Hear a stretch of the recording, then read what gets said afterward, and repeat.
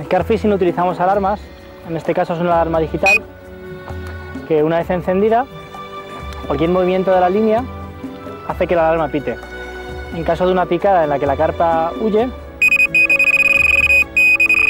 la alarma suena y pasaría lo mismo en una picada en que la carpa deja ahí la, la línea.